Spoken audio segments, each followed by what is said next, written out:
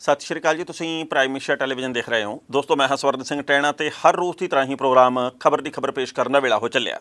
ਪਹਿਲੀ ਵੱਡੀ ਖਬਰ ਦੇ ਵੱਲ ਜਾਣ ਤੋਂ ਪਹਿਲਾਂ ਹਰ ਰੋਜ਼ ਦੀ ਤਰ੍ਹਾਂ ਹੀ ਮੌਸਮ ਦੀ ਹਾਲ ਬਿਆਨੀ ਮੌਸਮ ਚ ਦੇ ਰਿਹਾ। ਕਿਤੇ ਕਣੀਆਂ ਪੈਂਦੀਆਂ, ਮਾੜਾ ਮੋਟਾ ਮੀਂਹ ਤੇ ਕਿਤੇ ਟਾਟਕਾ ਧੁੱਪ, ਕਰਾਰੀ ਧੁੱਪ। ਕਣੀਆਂ ਜਿੱਥੇ ਪੈਂਦੀਆਂ, ਉੱਥੇ ਚਿੱਕੜ ਚੁੱਲਾ ਜਾ ਹੁੰਦਾ, ਬਾਅਦ ਦੇ ਵਿੱਚ ਧੁੱਪ ਉਵੇਂ ਫਿਰ ਨਿਕਲੇ ਆਉਂਦੀ ਹੈ ਯਾਨੀ ਕਿ ਗਰਮੀ ਤੋਂ ਰਾਹਤ ਨਹੀਂ ਮਿਲਦੀ ਤੇ ਮੌਸਮ ਵਿਭਾਗ ਕਹਿ ਛੱਡਦਾ ਜ਼ਰੂਰ ਕਿ ਆਉਂਦੇ 48 ਘੰਟੋਂ ਮੈਂ ਬਾਰਿਸ਼ ਹੋਗੀ ਆਉਂਦੇ 48 ਘੰਟਿਆਂ ਦੇ ਵਿੱਚ ਹਨੇਰੀ ਚੱਲੂਗੀ, ਪਰ ਨਾ ਬਾਰਿਸ਼ ਹੁੰਦੀ ਹੈ ਤੇ ਨਾ ਹਨੇਰੀ ਚੱਲਦੀ ਹੈ, ਨਾ ਕਣੀਆਂ ਪੈਂਦੀਆਂ, ਨਾ ਭੂਰ ਪੈਂਦੀ ਹੈ। ਕੁਝ ਵੀ ਹੁੰਦਾ ਨਹੀਂ। ਕਹਿਣ ਦਾ ਭਾਵ ਇਹ ਹੈ ਕਿ ਇਸ ਵੇਲੇ ਗਰਮੀ ਜ਼ੋਰ ਦੇ ਉੱਤੇ ਹੈ, ਪਰ ਇਹਦੇ ਵਿੱਚ ਬਦਲਾਅ ਹੋ ਜ਼ਰੂਰ ਜਾਣਾ, ਕਿਉਂਕਿ ਭਾਦੋਂ ਦਾ ਮਹੀਨਾ ਵੀ ਲੰਘਣ ਵਾਲਾ ਹੀ ਹੈ। ਜਿਹੜੀ ਪਹਿਲੀ ਵੱਡੀ ਖਬਰ ਹੈ, ਉਹਦੇ ਬਾਰੇ ਗੱਲ ਕਰਨ ਤੋਂ ਪਹਿਲਾਂ ਇਹ ਗੱਲ ਜ਼ਰੂਰ ਕਹਿਣੀ ਬਣਦੀ ਹੈ ਕਿ ਇਹ ਭਾਰਤ ਤੇ ਕੁਝ ਇੱਕ ਹੋਰ ਦੇਸ਼ਾਂ ਦੀ ਗੱਲ ਹੀ ਹੈ ਕਿ ਉੱਥੇ ਜਿਹੜਾ ਅਸਲ ਮੁੱਦਾ ਹੁੰਦਾ, ਉਹਦੇ ਵੱਲ ਗੌਰ ਨਹੀਂ ਕਰਨੀ ਤੇ ਜਿਹੜਾ ਮੁੱਦਾ ਹੀ ਨਹੀਂ ਹੁੰਦਾ, ਉਹਦੇ ਬਾਰੇ ਟਿੰਡ ਚ ਪਾ ਲੈਣਾ। ਤੁਸੀਂ ਦੇਖੋ ਵੀ ਬਾਹਰਲੇ ਮੁਲਕਾਂ ਦੇ ਵਿੱਚ, ਕੈਨੇਡਾ ਦੇ ਵਿੱਚ, ਅਮਰੀਕਾ ਦੇ ਵਿੱਚ ਨਿਊਜ਼ੀਲੈਂਡ 'ਚ, ਆਸਟ੍ਰੇਲੀਆ ਦੇ ਵਿੱਚ, ਇੰਗਲੈਂਡ ਦੇ ਵਿੱਚ, ਦੁਬਈ ਦੇ ਵਿੱਚ ਜਾਂ ਕਿਸੇ ਵੀ ਹੋਰ ਛੋਟੇ ਵੱਡੇ ਮੁਲਕ ਦੇ ਵਿੱਚ, ਕਦੇ ਇਦਾਂ ਹੋਇਆ ਵੀ ਅਸਲ ਮੁੱਦੇ ਦੀ ਥਾਂ ਦੇ ਉੱਤੇ ਗੱਲ ਇਹ ਕੀਤੀ ਜਾਵੇ ਕਿ ਇਹਨੇ ਚੱਪਲ ਕਿਉਂ ਪਾਈ, ਫਲਾਣੇ ਨੇਤਾ ਨੇ? ਫਲਾਣੇ ਨੇਤਾ ਨੇ ਸ਼ੇਰਵਾਨੀ ਕਾਹਤੋਂ ਪਾਈ? ਇਹਨੇ ਕੁੱਤਾ ਕਾਹਤੋਂ ਰੱਖਿਆ? ਇਹਨੇ ਬਿੱਲਾ ਕਾਹਤੋਂ ਰੱਖਿਆ? ਇਹਦਾ ਕਿਰਦਾਰ ਇਹੋ ਜਿਹਾ, ਇਹ ਕਿਹਦੇ ਨਾਲ ਰਹਿੰਦਾ ਜਾਂ ਰਹਿੰਦੀ ਆ? ਇਹਦੇ ਘਰ ਦੇ ਵਿੱਚ ਕੀ ਮਸਲਾ? ਇਹ ਸਾਰਾ ਕੁਝ ਭਾਰਤ ਦੇ ਵਿੱਚ ਹੈ ਕਿਉਂਕਿ ਭਾਰਤ ਦੀ ਰਾਜਨੀਤੀ ਦਾ ਵੱਡਾ ਹਿੱਸਾ ਪਖੰਡ ਦੇ ਸਿਰ ਦੇ ਉੱਤੇ ਚੱਲਦਾ। ਆ ਜਿਹੜੀ ਕੱਲ ਵਾਲੀ ਖਬਰ ਹੈ, ਇਹਦੇ ਉੱਤੇ ਮੈਨੂੰ ਹੈਰਾਨੀ ਬੜੀ ਹੋਈ ਆ ਕੋਈ ਪਾਵੇ 41000 ਦੀ ਸ਼ਰਟ, ਕੋਈ ਪਾਵੇ 400 ਰੁਪਏ ਦੀ ਸ਼ਰਟ, ਕੋਈ ਸੇਲ ਤੋਂ ਲੈ ਕੇ ਪਾਵੇ, ਕੋਈ ਬ੍ਰਾਂਡਡ ਪਾਵੇ, ਇਹਦੇ ਨਾਲ ਕਿਸੇ ਦਾ ਕੀ ਹੈ? ਇਹ ਕੋਈ ਭਾਰਤ ਦਾ ਮੁੱਦਾ ਥੋੜੀ ਹੈ। ਜੇ ਮੰਨ ਲਓ ਤੁਸੀਂ ਜਾਂ ਅਸੀਂ ਕੋਈ ਸ਼ੇਰਵਾਨੀ ਪਾਈ ਹੋਵੇ ਜਾਂ ਬਨੈਣ ਦੇ ਵਿੱਚ ਬੈਠੇ ਹੋਈਏ, ਤਾਂ ਇਹਦਾ ਭਾਰਤ ਦੇ ਨਾਲ ਕੋਈ ਸਬੰਧ ਥੋੜੀ ਹੈ? ਭਾਰਤ ਦੇ ਮੁੱਦਿਆਂ ਦੇ ਵਿੱਚ ਗੱਲ ਥੋੜੀ ਆਉਂਦੀ ਹੈ। ਰਾਹੁਲ ਗਾਂਧੀ ਦੇ ਵੱਲੋਂ ਭਾਰਤ ਜੋੜੋ ਯਾਤਰਾ ਕੱਢੀ ਜਾ ਰਹੀ ਹੈ। ਇਹ ਗੱਲ ਬੜੀ ਸਾਫ਼ ਤੇ ਸਪਸ਼ਟ ਹੈ ਵੀ ਕਾਂਗਰਸ ਦਾ ਕੁਝ ਬਣਨਾ ਕਿ ਨਹੀਂ ਇਸ ਯਾਤਰਾ ਨੂੰ ਕੱਢਣ ਤੋਂ ਬਾਅਦ। ਇਹਦੇ ਬਾਰੇ ਕੁਝ ਨਹੀਂ ਕਹਿ ਸਕਦੇ। ਬਿਲਕੁਲ ਬੁਰਾ ਹਾਲ ਤੇ ਬੌਂਕੇ ਦਿਹਾੜੇ ਆ ਇਸ ਵੇਲੇ ਕਾਂਗਰਸ ਦੇ। ਪਰ ਕਾਂਗਰਸ ਕੋਸ਼ਿਸ਼ ਕਰ ਰਹੀ ਹੈ, ਹਮਲਾ ਮਾਰ ਰਹੀ ਹੈ, ਪਤਾ ਨਹੀਂ ਕੀ ਬਣਨਾ, ਇਹ ਵਕਤ ਦੱਸੂਗਾ 24 ਦੇ ਵਿੱਚ ਕੀ ਹੋਊਗਾ, ਕੁਝ ਕਹਿ ਨਹੀਂ ਸਕਦੇ। ਪਰ ਬੀਜੇਪੀ ਦੇ ਕੋਲੇ ਮੁੱਦਾ ਦੇਖੋ ਕੀ ਆ। ਵੈਸੇ ਇਸ ਤੋਂ ਪਹਿਲਾਂ ਕਦੇ ਉਸ ਦਾ ਨਾਮ ਬਦਲ ਦਿਓ ਉਸ ਥਾਂ ਦਾ ਐਂ ਕਰ ਦਿਓ, ਇਹਦੇ ਬਾਰੇ ਉਹ ਕਰ ਦਿਓ, ਉਹ ਪਹਿਲਾਂ ਇਹ ਗੱਲ ਕਰਦੇ ਆ। ਆ ਹੁਣੇ ਹੁਣੇ ਆਪਾਂ ਜਾਣਦੇ ਆ ਕਿ ਰਾਜਪਥ ਦਾ ਨਾਂ ਬਦਲ ਕੇ ਕਰਤੱਵਿਆ ਪਥ ਕੀਤਾ ਗਿਆ। ਤੇ ਕਰਤੱਵਿਆ ਪਥ ਲਿਖਣ ਦੇ ਨਾਲ ਕੁਝ ਵੱਖਰੀ ਗੱਲ ਆਉਂਦੀ ਆ ਤੇ ਰਾਜਪਥ ਲਿਖਣ ਦੇ ਨਾਲ ਕੁਝ ਵੱਖਰਾ ਘਟ ਜਾਂਦਾ ਸੀ। ਇਹਦੇ ਬਾਰੇ ਹੈਰਾਨੀ ਹੁੰਦੀ ਆ। ਮੇਰੇ ਇੱਕ ਦੋਸਤ ਨੇ ਪਿੱਛੇ ਜੇ ਮੈਨੂੰ ਗੱਲ ਕਹੀ ਸੀ, ਕਹਿੰਦਾ, ਯਾਰ ਮੇਰਾ ਚਿੱਤ ਕਰਦਾ ਕਿ ਮੈਂ ਛੇਤੀ ਛੇਤੀ ਜਾ ਕੇ ਨਾ ਤੇ ਤਾਜ ਮਹਿਲ ਦੇਖਿਆ ਵਾਂ। ਮੈਂ ਕਿਹਾ ਵੀ ਇੰਨੀ ਕਾਲ ਕਾਤੋਂ ਪਾਈ ਆ ਕਹਿੰਦੇ ਨਿਤ ਯੋਗੀ ਸਰਕਾਰ ਦੇ ਵੱਲੋਂ ਕਹਿ ਦਿੱਤਾ ਜਾਂਦਾ ਇਹ ਤਾਜ ਮਹਿਲ ਤੋਂ ਹੈ ਹੀ ਨਹੀਂ ਅਸਲੀ ये ताजमहल तो संगमरमर का मकबरा है ये ताजमहल तो कब्रिस्तान है ये ताजमहल तो ऐसे है हम तो इसको मानते ही नहीं ਪ੍ਰੇਮ ਕੀ ਨਿਸ਼ਾਨੀ ਕਹਿੰਦਾ ਕਿਤੇ ਢਾਉਣੀ ਨਾ ਲੱਗ ਜਾਣ ਇਸ ਕਰਕੇ ਮੈਂ ਪਹਿਲਾਂ ਪਹਿਲਾਂ ਵੇਖਿਆ ਵਾਂ ਉਹਦੀ ਇਸ ਗੱਲ ਦੇ ਵਿੱਚ ਵਿਅੰਗ ਲੁਕਿਆ ਹੋਇਆ ਸੀ ਵੀ ਦੇਖੋ ਅੱਜ ਦੇ ਸਮੇਂ ਦੇ ਵਿੱਚ ਇਹੋ ਜਿਹੇ ਹਾਲਾਤ ਬਣ ਰਹੇ ਆ ਵੀ ਕੋਈ ਪਤਾ ਨਹੀਂ ਚੱਕ ਕੇ ਸੱਬਲ ਕਿਹੜੇ ਪਾਸੇ ਨੂੰ ਤੁਰ ਪਈਏ ਵੀ ਇਹ ਤਾਂ ਫਲਾਣੇ ਦੀ ਨਿਸ਼ਾਨੀ ਆਪਾਂ ਢਾਈ ਦੇਣੀ ਆ ਇਹਦਾ ਨਾਂ ਬਦਲ ਕੇ ਆਪਾਂ ਰੱਖ ਦੇਣਾ ਇਹਦਾ ਨਾਂ ਬਦਲ ਕੇ ਆਪਾਂ ਰੱਖ ਦੇਣਾ। ਇਦਾਂ ਦੀਆਂ ਗੱਲਾਂ ਚੱਲਦੀਆਂ, ਪਰ ਜਿਹੜਾ ਚਲੰਤ ਮੁੱਦਾ, ਇਹ ਰਾਹੁਲ ਗਾਂਧੀ ਦੇ ਵੱਲੋਂ ਤਾਮਿਲਨਾਡੂ ਦੇ ਵਿੱਚ ਜਦੋਂ ਪਹੁੰਚਿਆ ਗਿਆ, ਤੇ ਬੀਜੇਪੀ ਨੇ ਇਹ ਨਹੀਂ ਗੱਲ ਕਹੀ ਵੀ ਭਾਰਤ ਨੂੰ ਇਦਾਂ ਕਿਵੇਂ ਜੋੜਿਆ ਜਾਊਗਾ ਜਾਂ ਭਾਰਤ ਦੇ ਵੱਲੋਂ ਇਦਾਂ ਜੋੜਨਾ ਚਾਹੀਦਾ ਇਦਾਂ ਜੋੜਨ ਵਾਲੀ ਨੀਤੀ ਗਲਤ ਆ ਆ ਤੋੜਨ ਵਾਲੀ ਨੀਤੀ ਗਲਤ ਆ ਇਦਾਂ ਦੀ ਗੱਲ ਨਹੀਂ ਕਹੀ। ਉਹ ਕਹਿੰਦੇ ਜੀ ਰਾਹੁਲ ਗਾਂਧੀ ਨੇ 41000 ਰੁਪਏ ਦੀ ਸ਼ਰਟ ਪਾਈ ਆ। ਜੇਕਰ ਇਹਨੇ ਇਹ ਸ਼ਰਟ ਪਾਈ ਆ, ਤਾਂ ਫਿਰ ਗਰੀਬਾਂ ਦੀ ਗੱਲ ਕਿਹੜੀ ਹੋਈ? ਹੁਣ ਮਤਲਬ ਇਹ ਹੈ ਜੀ ਕਿ ਕੋਈ ਝੱਗਾ ਕਿੰਨੇ ਦਾ ਪਾਉਂਦਾ, ਕੋਈ ਸ਼ਰਟ ਕਿੰਨੇ ਦੀ ਪਾਉਂਦਾ, ਕੋਈ ਕੈਪਰੀ ਕਿੰਨੇ ਦੀ ਪਾਉਂਦਾ, ਕੋਈ ਪੈਂਟ ਪਜਾਮਾ ਕਿੰਨੇ ਦਾ ਪਾਉਂਦਾ, ਮੁੱਦਾ ਇੱਥੇ ਆ ਕੇ ਖੜ ਗਿਆ। ਯਾਨੀ ਕਿ ਇਉਂ ਲੱਗਦਾ ਸੀ ਵੀ ਜਿਵੇਂ ਬਾਕੀ ਸਾਰੇ ਮੁੱਦੇ ਮੁੱਕ ਗਏ, ਇਹ ਸਿਰਫ ਰਹਿ ਗਿਆ ਜੀ ਕਿ ਸ਼ਰਟ ਕਿੰਨੇ ਦੀ ਪਾਈ ਆ। ਤੇ ਨਾਲ ਇਹ ਵੀ ਕਮਾਲ ਦੀ ਗੱਲ ਕੀਤੀ ਆ ਵੀ ਇੱਕ ਜਿਹੜੀਆਂ ਅੱਜਕੱਲ ਆਨਲਾਈਨ ਸ਼ਾਪਿੰਗ ਵਾਲੀਆਂ ਐਪਸ ਆ ਉਹਦੇ ਉੱਤੇ ਜਾ ਕੇ ਜਾਂ ਸਾਈਟ ਕਹਿ ਲਈਏ ਉਹਨੂੰ, ਉਹਦੇ ਤੇ ਜਾ ਕੇ ਉਹਨਾਂ ਨੇ ਸਕਰੀਨਸ਼ਾਟ ਭੇਜਿਆ ਵੀ ਇਸ ਬ੍ਰਾਂਡ ਦੀ ਸ਼ਰਟ ਇੰਨੇ ਰੁਪਈਆਂ ਦੀ ਆਉਂਦੀ ਹੈ, ਜਿਹੜੀ ਕਿ ਰਾਹੁਲ ਗਾਂਧੀ ਨੇ ਪਾਈ ਹੈ। ਹੁਣ ਦੇਸ਼ ਦੇ ਲੋਕ ਜਿਹੜੇ ਕਿ ਸਿਰ ਤੋਂ ਕੰਮ ਲੈਣ ਵਾਲੇ ਹੋਣਗੇ, ਇਹਨਾਂ ਬਿਆਨਾਂ ਦੇ ਉੱਤੇ, ਇਹਨਾਂ ਗੱਲਾਂ ਦੇ ਉੱਤੇ ਸ਼ਰਮਸਾਰ ਹੋਣ ਜਾਂ ਸਰਸ਼ਾਰ ਹੋਣ? ਮੇਰਾ ਤਾਂ ਖਿਆਲ ਹੈ ਸ਼ਰਮਸਾਰ ਹੋਣ ਵਾਲੀ ਗੱਲ ਹੈ। ਪਹਿਲਾਂ ਇਸ ਰਿਪੋਰਟ ਦਾ ਵੇਰਵਾ ਤੇ ਫਿਰ ਕਰਾਂਗੇ ਟਿੱਪਣੀ। ਕਾਂਗਰਸ ਦੀ ਭਾਰਤ ਜੋੜੋ ਯਾਤਰਾ ਦੇ ਵਿੱਚ ਸ਼ੁੱਕਰਵਾਰ ਨੂੰ ਰਾਹੁਲ ਗਾਂਧੀ ਤਾਮਿਲਨਾਡੂ ਪਹੁੰਚੇ। ਇੱਥੇ ਉਹਨਾਂ ਦੇ ਪ੍ਰੋਗਰਾਮ ਤੋਂ ਬਾਅਦ ਉਹਨਾਂ ਦੀ ਟੀ-ਸ਼ਰਟ ਦੀ ਚਰਚਾ ਹੋਈ। ਰਾਹੁਲ ਗਾਂਧੀ ਨੇ ਬਰਬਰੀ ਕੰਪਨੀ ਦੀ ਚਿੱਟੇ ਰੰਗ ਦੀ ਟੀ-ਸ਼ਰਟ ਪਹਿਨੀ। ਭਾਜਪਾ ਨੇ ਉਸ ਦੀ ਫੋਟੋ ਟਵੀਟ ਕਰਕੇ ਲਿਖਿਆ, ਭਾਰਤ ਦੇਖੋ 41000 ਰੁਪਏ ਦੀ ਟੀ-ਸ਼ਰਟ। ਭਾਜਪਾ ਨੇ ਆਪਣੇ ਟਵੀਟ ਦੇ ਵਿੱਚ ਕੰਪਨੀ ਦੀ ਆਨਲਾਈਨ ਸੇਲ ਦਾ ਪ੍ਰਾਈਜ਼ ਵੀ, ਯਾਨੀ ਕਿ ਮੁੱਲ ਵੀ ਟੈਗ ਦੇ ਨਾਲ ਦਿਖਾਇਆ। ਭਾਜਪਾ ਦੇ ਟਵੀਟ ਦੇ ਉੱਤਰ ਦੇ ਵਿੱਚ ਕਾਂਗਰਸ ਨੇ ਲਿਖਿਆ ਕਿ, ਤੁਸੀਂ ਘਬਰਾ ਗਏ ਹੋ। ਭਾਰਤ ਜੋੜੋ ਯਾਤਰਾ ਦੇ ਵਿੱਚ ਉਮੜੇ ਹੋਏ ਜਨ ਸਲਾਬ ਨੂੰ ਦੇਖ ਕੇ। ਮੁੱਦੇ ਦੀ ਗੱਲ ਕਰੋ, ਬੇਰੋਜ਼ਗਾਰੀ ਤੇ ਮਹਿੰਗਾਈ ਦੇ ਉੱਤੇ ਬੋਲੋ। ਬਾਕੀ ਕੱਪੜਿਆਂ ਦੇ ਉੱਤੇ ਚਰਚਾ ਕਰਨੀ ਹੈ ਤਾਂ ਮੋਦੀ ਜੀ ਦੇ 10 ਲੱਖ ਦੇ ਸੂਟ ਤੇ 1.5 ਲੱਖ ਰੁਪਏ ਦੀ ਐਨਕ ਦੀ ਗੱਲ ਕਰੋ। ਦੱਸੋ, ਗੱਲ ਕਰਨੀ ਹੈ? ਇੱਕ ਸਵਾਲ ਦੇ ਉੱਤਰ ਦੇ ਵਿੱਚ ਰਾਹੁਲ ਗਾਂਧੀ ਨੇ ਕਿਹਾ, ਭਾਰਤ ਜੋੜੋ ਯਾਤਰਾ ਕਾਂਗਰਸ ਪਾਰਟੀ ਕੱਢ ਰਹੀ ਹੈ ਤੇ ਮੈਂ ਕਾਂਗਰਸ ਪਾਰਟੀ ਦਾ ਮੈਂਬਰ ਹਾਂ। ਉਹਨਾਂ ਨੇ ਇਹ ਗੱਲ ਕਹੀ ਹੈ ਕਿ ਵਕਤ ਦੱਸੇਗਾ ਬਣਦਾ ਕੀ ਹੈ, ਪਰ ਅਸੀਂ ਭਾਰਤ ਨੂੰ ਜੋੜਨ ਦੀਆਂ ਕੋਸ਼ਿਸ਼ਾਂ ਕਰ ਰਹੇ ਹਾਂ। ਕਾਂਗਰਸ ਦੇ ਪ੍ਰਧਾਨ ਦੇ ਚਿਹਰੇ ਦੇ ਬਾਰੇ ਜਾਰੀ ਸਿਆਸੀ ਸਸਪੈਂਸ ਦਰਮਿਆਨ ਸ਼ੁੱਕਰਵਾਰ ਨੂੰ ਰਾਹੁਲ ਗਾਂਧੀ ਨੇ ਇਸ ਤੇ ਵੀ ਪਹਿਲੀ ਵਾਰ ਬਿਆਨ ਦਿੱਤਾ। ਤਾਮਿਲਨਾਡੂ ਦੇ ਵਿੱਚ ਉਹਨਾਂ ਨੇ ਕਿਹਾ ਕਿ ਉਹ ਚੋਣ ਲੜਨਗੇ ਜਾਂ ਨਹੀਂ, ਇਹਦਾ ਜਵਾਬ ਬਾਅਦ ਵਿੱਚ ਦੇਣਗੇ। ਉਹਨਾਂ ਨੇ ਕਿਹਾ ਕਿ ਮੈਂ ਇਹਦੇ ਉੱਤੇ ਆਪਣਾ ਫੈਸਲਾ ਕਰ ਲਿਆ। ਮੇਰੇ ਮਨ ਦੇ ਵਿੱਚ ਕੋਈ ਭਰਮ ਨਹੀਂ, ਚੋਣ ਨਾ ਲੜਿਆ ਤਾਂ ਤੁਹਾਨੂੰ ਜਵਾਬ ਜ਼ਰੂਰ ਦੇਵਾਂਗਾ। ਇਸ ਖਬਰ ਦੇ ਉੱਤੇ ਟਿੱਪਣੀ ਕਰਦਾ ਦੋਸਤੋ, ਪਹਿਲੀ ਗੱਲ ਤਾਂ ਅਸੀਂ ਕਹਾਂਗੇ, ਭਾਰਤ ਦੇ ਰਾਜਨੀਤਿਕ ਲੋਕਾਂ ਦੇ ਕੋਲੇ ਇੰਨੀ ਕੁ ਵੇਲ ਹੈ ਵੀ ਕੌਣ ਕੀ ਪਹਿਨਦਾ ਤੇ ਕੌਣ ਕੀ ਖਾਂਦਾ ਤੇ ਕੌਣ ਕਿੱਥੇ ਜਾਂਦਾ ਸਿਰਫ ਇਹਦੇ ਵੱਲ ਖਿਆਲ ਕਰਦੇ ਆ। ਬਾਹਰਲੇ ਦੇਸ਼ਾਂ ਦੇ ਵਿੱਚ ਇਦਾਂ ਨਹੀਂ ਹੁੰਦਾ। ਬਾਹਰਲੇ ਦੇਸ਼ਾਂ ਦੇ ਵਿੱਚ ਸਾਦਗੀ ਨੂੰ ਅਪਣਾਇਆ ਜਾਂਦਾ। ਬੰਦਾ ਆਪਦੀ ਕਾਰ ਵੀ ਆਪ ਚਲਾ ਕੇ ਆਉਂਦਾ। ਉਹ ਭਾਵੇਂ ਜਿੰਨਾ ਵੱਡਾ ਮੰਤਰੀ ਹੋਵੇ, ਵੱਧ ਤੋਂ ਵੱਧ ਇੱਕ ਦੋ ਜਣੇ ਨਾਲ ਹੋਣਗੇ। ਇੱਥੇ ਪਤਾ ਨਹੀਂ ਕਿੰਨਾ ਕੁ ਲਾਂਗੜ ਚੱਕ ਕੇ ਤੇ ਬੰਦੇ ਨੇਤਾ ਕਦੇ ਇਹਨੂੰ ਤੁਰ ਗਏ, ਕਦੇ ਉਹਨੂੰ ਤੁਰ ਗਏ, ਕਦੇ ਇੱਧਰ ਗਏ ਤੇ ਕਦੇ ਉੱਧਰ ਗਏ। ਇਹ ਸਾਰਾ ਕੁਝ ਚੱਲਦਾ। ਤੇ ਫਿਰ ਇਹੋ ਜੀਆਂ ਗੱਲਾਂ ਹੁੰਦੀਆਂ ਜਿਹੜੀਆਂ ਕਿ ਅਚੰਭਤ ਕਰਦੀਆਂ।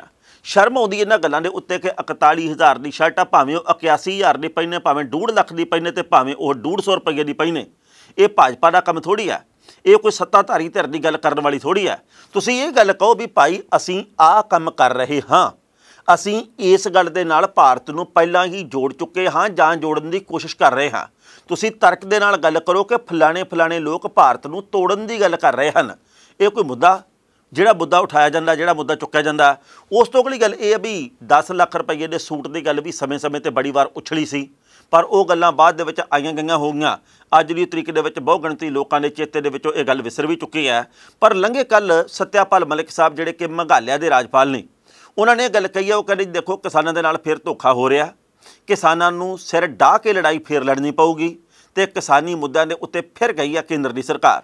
ਉਹਨਾਂ ਨੇ ਇਹ ਗੱਲ ਕਹੀ ਹੈ ਕਿ ਨਿਤ ਕੋਈ ਨਾ ਕੋਈ ਉਦਘਾਟਨ, ਹਰ ਰੋਜ਼ ਕੋਈ ਨਾ ਕੋਈ ਉਦਘਾਟਨ, ਚਲੋ ਹੋਰ ਕੁਝ ਨਾ ਸਹੀ, ਤਾਂ ਉਹ ਕਹਿੰਦੇ ਵੀ ਭਾਈ ਰਾਜਪਥ ਦਾ ਨਾਂ ਆਪਾਂ ਬਦਲ ਕੇ ਤੇ ਕਰਤਵਿਆ ਪਥ ਕਰ ਦਿੰਦੇ ਆ ਚਲੋ ਅੱਜ ਦਾ ਦਿਨ ਕੁਛ ਤਾਂ ਕਰ ਗਏ ਆਪਾਂ।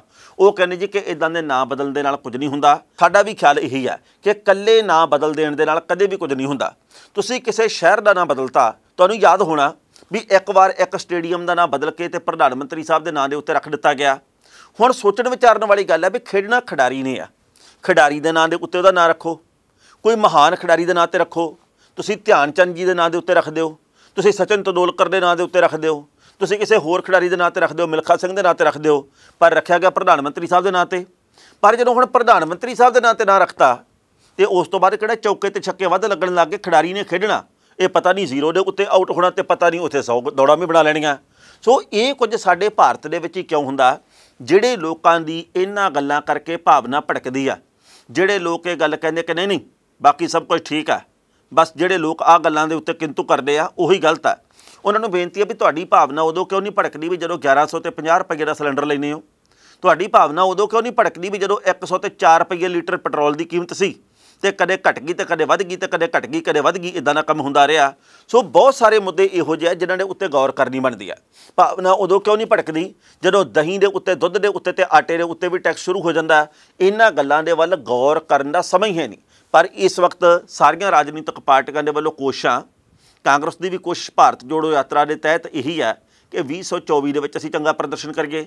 ਲੰਘੇ ਕੱਲ ਬੀਜੇਪੀ ਦੇ ਵੱਲੋਂ 15 ਸੂਬਿਆਂ ਦੇ ਵਿੱਚ ਆਪਣੇ ਇੰਚਾਰਜ ਨਿਯੁਕਤ ਕੀਤੇ ਗਏ ਆ, ਜਿਹਦੇ ਵਿੱਚ ਸਾਬਕਾ ਮੁੱਖ ਮੰਤਰੀ ਵਿਜੇ ਰੁਪਾਣੀ ਨੂੰ ਪੰਜਾਬ ਦਾ ਇੰਚਾਰਜ ਲਾਇਆ ਗਿਆ। ਹੋਰ ਵੀ ਵੱਖ-ਵੱਖ ਨੇਤਾਵਾਂ ਨੂੰ ਇਦਾਂ ਐਡਜਸਟ ਕੀਤਾ ਗਿਆ।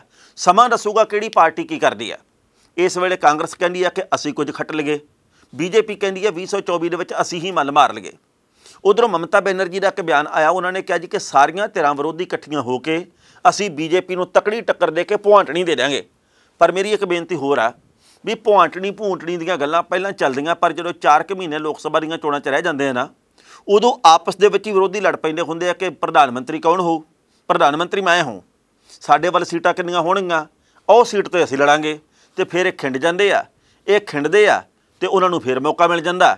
ਐਤਕੀ ਵੀ ਹਾਲ ਦੀ ਘੜੀ ਏਕਤਾ ਦੀਆਂ ਗੱਲਾਂ ਇਹ ਨਹੀਂ ਪਤਾ ਵੀ ਭਵਿੱਖ ਦੇ ਵਿੱਚ ਏਕਤਾ ਕਿੱਥੇ ਜੇ ਖੜਦੀਆਂ ਪਰ ਗੱਲ ਇਹ ਹੈ ਵੀ ਭਾਰਤ ਦੇ ਵਿੱਚ ਜਾਂ ਕਿਸੇ ਵੀ ਦੇਸ਼ ਦੇ ਵਿੱਚ ਵਿਰੋਧੀ ਪਾਰਟੀ ਜਿੰਨੀ ਮਜ਼ਬੂਤ ਹੋਊਗੀ, ਸੱਤਾਧਾਰੀ ਧਿਰ ਉਨੀ ਹੀ ਚੌਕਸ ਹੋ ਕੇ ਲੋਕਾਂ ਦੇ ਕੰਮ ਕਰਨ ਪ੍ਰਤੀ ਵਚਨਬੱਧ ਹੋਊਗੀ। ਤੇ ਜੇਕਰ ਵਿਰੋਧੀ ਪਾਰਟੀਆਂ ਸਾਹ ਸਤਹੀਣ ਹੋ ਗਈਆਂ, ਜਿਵੇਂ ਕਿ ਹੁਣ ਹੋਈਆਂ ਪਈਆਂ ਭਾਰਤ ਦੇ ਵਿੱਚ, ਤੇ ਫਿਰ ਕਰਨਾ ਕੀ ਆ? ਜੋ ਮਰਜ਼ੀ ਕਰਨਗੇ। ਮੈਂ ਚਾਹੁੰਦਾ, ਹਰ ਕੋਈ ਚਾਹੁੰਦਾ ਵੀ ਭਾਵੇਂ ਸੂਬੇ ਦੀ ਗੱਲ ਕਰੀਏ ਤੇ ਭਾਵੇਂ ਕੇਂਦਰ ਦੀ ਗੱਲ ਕਰੀਏ ਵਿਰੋਧੀ ਪਾਰਟੀਆਂ ਦੇ ਵਿੱਚ ਗੜਸਤਾ ਹੋਣੇ ਚਾਹੀਦੇ ਆ। ਵਿਰੋਧੀ ਪਾਰਟੀਆਂ ਦੇ ਵਿੱਚ ਕੋਈ ਨਾ ਕੋਈ ਜਜ਼ਬਾ ਹੋਣਾ ਚਾਹੀਦਾ ਜਿਹੜਾ ਕਿ ਦਿਸਦਾ ਨਹੀਂ ਆ। ਲੰਘੇ ਕੱਲ ਗੱਜਣ ਮਾਜਰਾ ਤੇ ਪਠਾਨ ਮਾਜਰਾ, ਦੋ ਨੇਤਾਵਾਂ ਦੀ ਆਮ ਆਦਮੀ ਪਾਰਟੀ ਦੇ ਵਿਧਾਇਕਾਂ ਦੀ ਚਰਚਾ ਰਹੀ ਆ। ਗੱਜਣ ਮਾਜਰਾ ਦੇ ਨਾਲ ਈਡੀ ਦੀ ਰੇਡ ਦਾ ਮਾਮਲਾ ਜੁੜਿਆ। ਉਹਨਾਂ ਨੇ ਇਹ ਗੱਲ ਕਹੀ ਹੈ ਕਿ ਜੋ ਕੁਝ ਇਸ ਵਕਤ ਈਡੀ ਦੇ ਵੱਲੋਂ ਕੀਤਾ ਗਿਆ, ਉਹ ਅਨੈਤਿਕ ਹੈ ਉਹ ਕਹਿੰਦੇ ਵੀ ਮੇਰੇ ਘਰ ਦੇ ਵਿੱਚ, ਸਾਡੇ ਕਾਰੋਬਾਰੀ ਅਦਾਰਿਆਂ ਦੇ ਵਿੱਚ ਆ ਕੇ ਈਡੀ ਦੇ ਵੱਲੋਂ ਛਾਪਾ ਮਾਰਿਆ ਗਿਆ। ਮਿਲਿਆ ਤਾਂ ਉਹਨਾਂ ਨੂੰ ਕੁਝ ਹੈ ਨਹੀਂ ਸਗੋਂ ਮੇਰੇ ਵਾਲਾ ਸਮਾਨ ਵੀ ਚੋਰੀ ਕਰਕੇ ਲੈ ਗਏ ਆ। ਮਤਲਬ ਮੇਰੇ ਵਾਲੇ ਸਮਾਨ ਦੇ ਉੱਤੇ ਵੀ ਉਹਨਾਂ ਦੀ ਮਾੜੀ ਅੱਖ ਸੀ। ਸੋ ਇਸ ਮਾਮਲੇ ਦੇ ਉੱਤੇ ਕੀ ਆਉਂਦੇ ਸਮੇਂ 'ਚ ਨਿਕਲ ਕੇ ਆਊਗਾ ਕੁਝ ਕਹਿ ਨਹੀਂ ਸਕਦੇ। ਪਰ ਆਮ ਆਦਮੀ ਪਾਰਟੀ ਨੂੰ ਕਈ ਪਾਸਿਓਂ ਕਈ ਤਰ੍ਹਾਂ ਦਾ ਘੇਰਾ ਪਾਉਣ ਦੀਆਂ ਕੋਸ਼ਿਸ਼ਾਂ ਹੋ ਰਹੀਆਂ। ਪਰ ਜਿਹੜੀ ਪਠਾਨ ਮਾਜਰਾ ਦੀ ਗੱਲ ਆ, ਉਹ ਨਿੱਜੀ ਗੱਲ ਆ। ਉਹ ਹੈ ਵੈਸੇ ਉਹਦੀ ਪਰਿਵਾਰਕ ਗੱਲ। ਪਰਿਵਾਰਕ ਮਸਲਿਆਂ ਦੇ ਵਿੱਚ ਕੋਈ ਟਿੱਪਣੀ ਤਾਂ ਨਹੀਂ ਕਰਨੀ ਬਣਦੀ। ਪਰ ਜਦੋਂ ਪਰਿਵਾਰਕ ਮਸਲਾ ਮੀਡੀਆ ਦੇ ਵਿੱਚ ਆ ਜੇ, ਉਦੋਂ ਉਹਦੇ ਉੱਤੇ ਮਰਿਆਦਾ ਦੇ ਵਿੱਚ ਰਹਿ ਕੇ ਟਿੱਪਣੀ ਕਰਨੀ ਜ਼ਰੂਰੀ ਵੀ ਹੋ ਜਾਂਦੀ ਹੈ। ਕਿਉਂਕਿ ਕੁਝ ਕੁ ਸਮਾਂ ਪਹਿਲਾਂ ਇੱਕ ਔਰਤ ਦੇ ਵੱਲੋਂ ਦੋਸ਼ ਲਾਏ ਗਏ ਸੀ ਕਿ ਮੈਂ ਉਹਦੀ ਦੂਜੀ ਪਤਨੀ ਆ ਮੇਰੇ ਨਾਲ ਵਿਆਹ ਕਰਵਾਇਆ ਗਿਆ। ਉਹਨੇ ਇਹ ਗੱਲ ਕਹੀ ਕਿ ਭਾਈ ਪਠਾਨ ਮਾਜਰਾ ਵਿਧਾਇਕ ਆ ਜਿਹੜਾ, ਇਹਨੇ ਮੇਰੀ ਪਤ ਨਾਲ ਖੇਡਿਆ। ਕਈ ਤਰ੍ਹਾਂ ਦੇ ਦੋਸ਼ ਲਾਏ, ਇਹ ਦੋਸ਼ ਪਤਾ ਨਹੀਂ ਸੱਚੇ ਆ ਕਿ ਝੂਠੇ ਆ, ਆਪਾਂ ਇਹਦੇ ਉੱਤੇ ਕੋਈ ਟਿੱਪਣੀ ਨਹੀਂ ਕਰਦੇ। ਪਰ ਹੁਣ ਪਤਾ ਲੱਗਾ ਜੀ ਕਿ ਉਸ ਔਰਤ ਦੇ ਉੱਤੇ ਆਈਟੀ ਐਕਟ ਦੇ ਤਹਿਤ ਪਰਚਾ ਦਰਜ ਹੋ ਗਿਆ, ਕਿਉਂਕਿ ਇੱਕ ਨੀਲੀ ਵੀਡੀਓ ਦਾ ਮਾਮਲਾ ਆਇਆ ਸੀ। ਵਿਧਾਇਕ ਸਾਹਿਬ ਦੀ ਕਥਿਤ ਤੌਰ ਦੇ ਉੱਤੇ ਇੱਕ ਨੀਲੀ ਵੀਡੀਓ ਆਈ ਸਾਹਮਣੇ। ਉਹਦੇ ਵਿੱਚ ਉਹ ਇੱਕ ਬਾਥਰੂਮ ਦੇ ਵਿੱਚ ਕੁਝ ਕਿਹੋ ਜੀਆਂ ਹਰਕਤਾਂ ਦੀ ਪੇਸ਼ਕਾਰੀ ਕੀਤੀ ਗਈ। ਉਸ ਔਰਤ ਦੇ ਵੱਲੋਂ ਕਈ ਥਾਵਾਂ ਦੇ ਉੱਤੇ ਕਹਿੰਦੇ ਰੇਡੀਓ ਦੇ ਉੱਤੇ ਇੰਟਰਵਿਊ ਵੀ ਦਿੱਤੀਆਂ ਗਈਆਂ, ਕੁਝ ਕੁ ਹੋਰ ਥਾਵਾਂ ਤੇ ਵੀ ਦਿੱਤੀਆਂ ਗਈਆਂ। ਪਰ ਇਹ ਮਾਮਲਾ ਕਾਫੀ ਉਲਝ ਗਿਆ। ਔਰਤ ਦੇ ਵੱਲੋਂ ਇਹ ਗੱਲ ਕਹੀ ਗਈ ਆ ਕਿ ਸੂਬੇ ਦੀ ਸਰਕਾਰ ਤੇ ਪੁਲਿਸ ਕਾਰਵਾਈ ਕਰੇ ਵਿਧਾਇਕ ਦੇ ਖਿਲਾਫ। ਸੂਬੇ ਦੀ ਸਰਕਾਰ ਦੇ ਵੱਲੋਂ ਇਸ ਮਾਮਲੇ ਦੇ ਉੱਤੇ ਕੋਈ ਟਿੱਪਣੀ ਨਹੀਂ ਕੀਤੀ ਗਈ। ਵਿਧਾਇਕ ਦੀ ਸ਼ਿਕਾਇਤ ਦੇ ਉੱਤੇ ਇਸ ਔਰਤ ਦੇ ਉੱਤੇ ਕਾਰਵਾਈ ਹੋਈ ਹੈ ਤੇ ਮਾਮਲਾ ਨੀਲੀ ਫਿਲਮ ਦਾ, ਮਾਮਲਾ ਘਰ ਦੇ ਵਿੱਚ ਖਲਲ ਪਾਉਣ ਦਾ ਤੇ ਮਾਮਲਾ ਇਹਦੇ ਵਿੱਚ ਹੈਗਾ ਕਿ ਭਾਈ ਤੁਸੀਂ ਮੇਰੇ ਨਾਲ ਪਹਿਲਾਂ ਕੀ ਗੱਲ ਕੀਤੀ ਤੇ ਬਾਅਦ ਵਿੱਚ ਕੀ ਕੀਤੀ, ਤੁਸੀਂ ਮੇਰੇ ਮਾਣ ਦੀ ਹਾਨੀ ਕੀਤੀ ਹੈ। ਪਹਿਲਾਂ ਇਸ ਰਿਪੋਰਟ ਦਾ ਵਿਰਵਾ ਤੇ ਫਿਰ ਕਰਾਂਗੇ ਟਿੱਪਣੀ। ਪਟਿਆਲਾ ਜ਼ਿਲ੍ਹੇ ਦੇ ਸਨੌਰ ਹਲਕੇ ਤੋਂ ਵਿਧਾਇਕ ਹਰਮੀਤ ਸਿੰਘ ਪਠਾਨ ਮਾਜਰਾ ਦੀ ਦੂਜੀ ਪਤਨੀ ਦੇ ਖਿਲਾਫ ਕੇਸ ਦਰਜ ਕੀਤਾ ਗਿਆ। ਜਾਣਕਾਰੀ ਦੇ ਮੁਤਾਬਕ ਇਸ ਔਰਤ ਦੇ ਉੱਤੇ ਆਈਟੀ ਐਕਟ ਦੀਆਂ ਧਾਰਾਵਾਂ ਤਹਿਤ ਪਰਚਾ ਦਰਜ ਕੀਤਾ ਗਿਆ। ਦਰਅਸਲ ਪਿਛਲੇ ਦਿਨੀ ਵਿਧਾਇਕ ਪਠਾਨ ਮਾਜਰਾ ਦੀ ਇੱਕ ਅਸ਼ਲੀਲ ਵੀਡੀਓ ਵਾਇਰਲ ਹੋਈ ਸੀ, ਜਿਸ ਤੇ ਵਿਧਾਇਕ ਨੇ ਇਹ ਗੱਲ ਕਹੀ ਸੀ ਕਿ ਇਹ ਵੀਡੀਓ ਉਸ ਦੀ ਦੂਜੀ ਪਤਨੀ ਨੇ ਬਣਾਈ ਹੈ ਤੇ ਇਹ ਵੀਡੀਓ ਵਾਇਰਲ ਕਰ ਦਿੱਤੀ ਹੈ। ਦੂਜੇ ਪਾਸੇ ਪਠਾਨ ਮਾਜਰਾ ਦੀ ਦੂਜੀ ਪਤਨੀ ਵੱਲੋਂ ਦਾਇਰ ਪਟੀਸ਼ਨ ਦੇ ਉੱਤੇ ਪੰਜਾਬ ਤੇ ਹਰਿਆਣਾ ਹਾਈ ਕੋਰਟ ਨੇ ਹਰਮੀਤ ਪਠਾਨ ਮਾਜਰਾ ਤੇ ਪੰਜਾਬ ਸਰਕਾਰ ਨੂੰ ਨੋਟਿਸ ਜਾਰੀ ਕਰਦਿਆਂ ਦੂਜੀ ਪਤਨੀ ਨੂੰ ਸੁਰੱਖਿਆ ਦੇਣ ਦੇ ਹੁਕਮ ਜਾਰੀ ਕੀਤੇ ਗਏ ਸਨ। ਇਸ ਦੇ ਨਾਲ ਹੀ ਹਾਈ ਕੋਰਟ ਨੇ ਸ਼ਿਕਾਇਤ ਦੀ ਸਟੇਟਸ ਰਿਪੋਰਟ ਵੀ ਮੰਗੀ ਸੀ।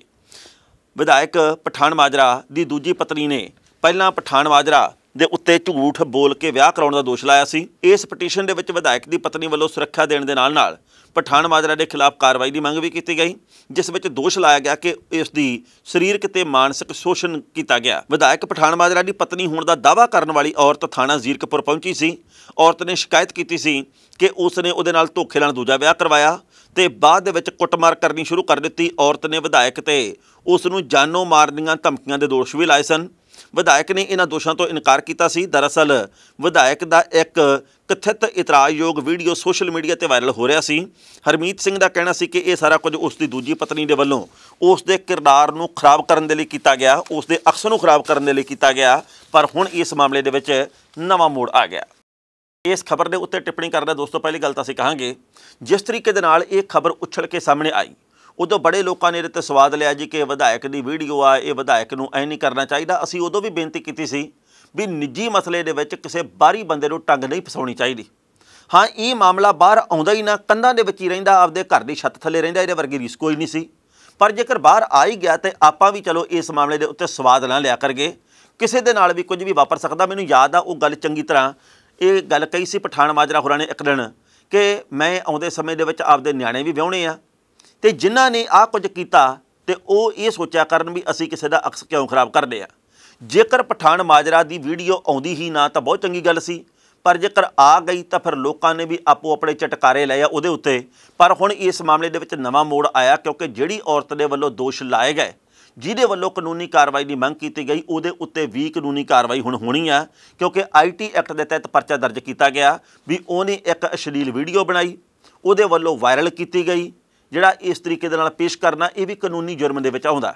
ਮਾਨ ਦੀ ਹਾਨੀ ਦਾ ਮਾਮਲਾ ਵੀ ਸ਼ਾਇਦ ਆਉਂਦੇ ਸਮੇਂ ਦੇ ਵਿੱਚ ਦਰਜ ਹੋਵੇ, ਇਸ ਮਾਮਲੇ ਦੇ ਵਿੱਚ ਕਈ ਹੋਰ ਨਵੇਂ ਮੋੜ ਆ ਸਕਦੇ ਆ, ਪਰ ਆਮ ਆਦਮੀ ਪਾਰਟੀ ਦੀ ਸਰਕਾਰ ਨੂੰ ਕਈ ਪਾਸਿਓਂ ਕਈ ਤਰ੍ਹਾਂ ਦੇ ਘੇਰੇ ਪਏ ਆ, ਕਦੇ ਡਾਕਟਰ ਵਿਜੇ ਸਿੰਗਲਾ ਦੇ ਰੂਪ ਦੇ ਵਿੱਚ ਕਦੇ ਇੱਥੇ ਪਠਾਨ ਮਾਜਰਾ ਦੇ ਮਾਮਲੇ 'ਚ, ਕਦੇ ਗੱਜਣ ਮਾਜਰਾ ਦੇ ਮਾਮਲੇ ਦੇ ਵਿੱਚ, ਕਦੇ ਕਿਸੇ ਤੇ ਕਦੇ ਕਿਸੇ ਮਾਮਲੇ ਦੇ ਵਿੱਚ, ਅਸੀਂ ਇਹ ਚਾਹੁੰਦੇ ਆ ਕਿ ਆਮ ਆਦਮੀ ਪਾਰਟੀ ਜਾਂ ਕਿਸੇ ਵੀ ਪਾਰਟੀ ਦਾ ਵਿਧਾਇਕ ਕੱਲਾ ਕੱਲਾ ਵਿਧਾਇਕ, ਲੋਕਾਂ ਦੇ ਪ੍ਰਤੀ ਜਵਾਬਦੇ ਰਹੇ ਤੇ ਲੋਕ ਵੀ ਉਹਦੇ ਤੱਕ ਇਸ ਗੱਲ ਦੀ ਹੀ ਉਮੀਦ ਰੱਖਣ ਕਿ ਇਹ ਸਾਡੇ ਕੰਮ ਕਰ ਸਕਦਾ। ਉਹ ਨਿੱਜੀ ਜ਼ਿੰਦਗੀ 'ਚ ਕੀ ਕਰਦਾ? ਉਹ ਕੀ ਨਹੀਂ ਕਰਦਾ? ਇਹਦੇ ਵੱਲ ਸਾਡਾ ਧਿਆਨ ਦੇਣ ਦਾ ਕੰਮ ਨਹੀਂਗਾ ਉਹਨੇ ਉਸ ਟਰਮ ਦੇ ਵਿੱਚ ਕੀਤੇ ਹੋਏ ਵਾਅਦਿਆਂ ਨੂੰ ਪੂਰਾ ਕੀਤਾ ਕਿ ਨਹੀਂ? ਕੀਤੀ ਗਰੰਟੀ ਨੂੰ ਪੂਰਾ ਕੀਤਾ ਕਿ ਨਹੀਂ? ਜੋ ਲੋਕਾਂ ਨਾਲ ਚੋਣਾਂ ਦੇ ਮੌਕੇ ਵਾਅਦੇ ਕੀਤੇ, ਉਹ ਪੂਰਾ ਕਰ ਰਿਹਾ ਕਿ ਨਹੀਂ? ਸਾਡੀ ਗੌਰ ਇੱਥੋਂ ਤੱਕ ਹੋਣੀ ਚਾਹੀਦੀ ਆ। ਉਰਲੀ ਪਰਲੀ ਗੱਲ ਆਪਦੇ ਘਰ ਦੀ ਵੇਖਣੀ ਚਾਹੀਦੀ ਆ। ਆਪਾਂ ਨੂੰ ਕਿਸੇ ਦੀ ਕੀ ਦੇਖਣ ਦੀ ਲੋੜ ਆ।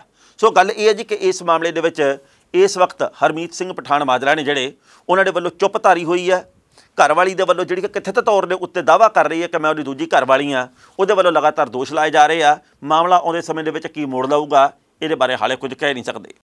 ਭਾਜਪਾ ਦੇ ਵੱਲੋਂ 15 ਸੂਬਿਆਂ ਦੇ ਆਪਣੇ ਇੰਚਾਰਜ ਨਿਯੁਕਤ ਕੀਤੇ ਗਏ। ਜਿਵੇਂ ਕਿ ਅਸੀਂ ਪਹਿਲੀ ਖਬਰ ਦੇ ਵਿੱਚ ਵੀ ਗੱਲ ਸਾਂਝੀ ਕੀਤੀ ਹੈ, ਕਿਉਂਕਿ ਭਾਜਪਾ ਇਹ ਜਾਣਦੀ ਹੈ ਜੀ ਕਿ ਐਤਕੀ 2024 ਦੇ ਵਿੱਚ ਜੇਕਰ ਅਸੀਂ ਬੇੜਾ ਬੰਨੇ ਲਾਉਣਾ, ਤਾਂ ਤਿਆਰੀ ਇਉਂ ਸ਼ੁਰੂ ਕਰੀਏ ਵੀ ਜਿਵੇਂ ਆਖਰੀ 1 ਮਹੀਨਾ ਰਹਿ ਗਿਆ ਵੋਟਾਂ ਪੈਣ ਦੇ ਵਿੱਚ।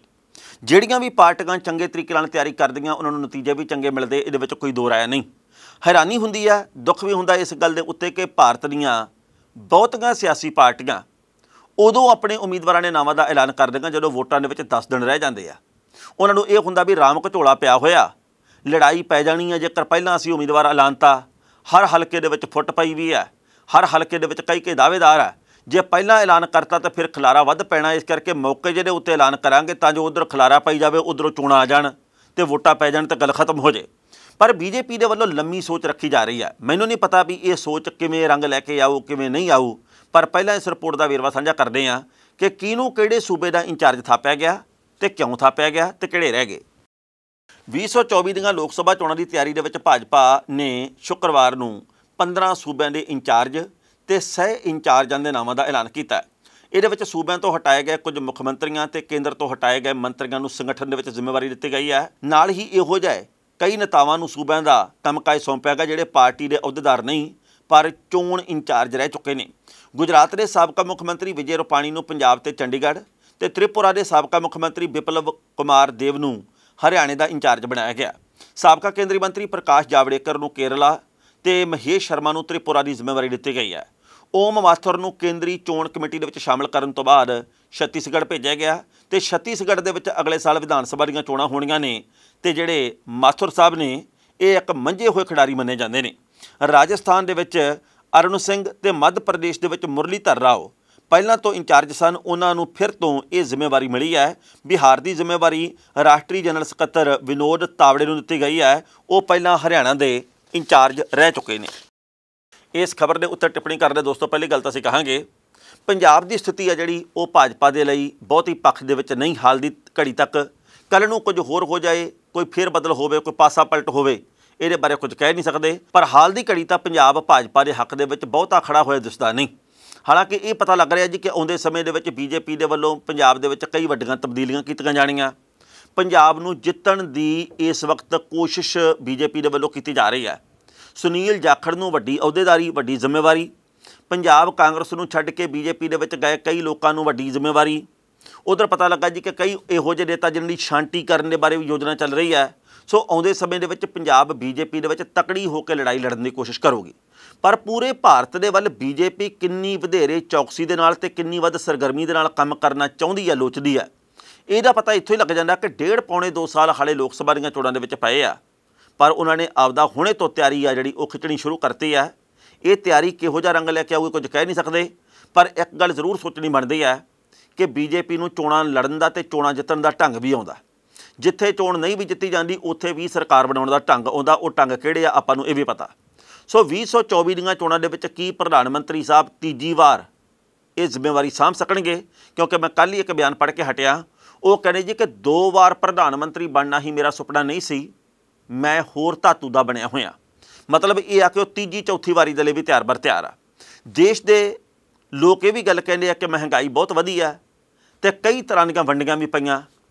ਪਰ ਕਈ ਲੋਕ ਇਹ ਵੀ ਗੱਲ ਕਹਿੰਦੇ ਜਿਹੜੇ ਕਿ ਜਨੂਨੀ ਭਗਤ ਆ, ਉਹ ਕਹਿੰਦੇ ਵੀ ਨਾ, ਸਭ ਕੁਝ ਠੀਕ ਆ, ਚੜ੍ਹਦੀ ਕਲਾ ਦੇ ਵਿੱਚ ਆ।